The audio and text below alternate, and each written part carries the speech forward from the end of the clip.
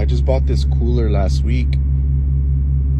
If you guys are looking to buy one, I highly recommend this one. It's on sale today for Cyber Monday.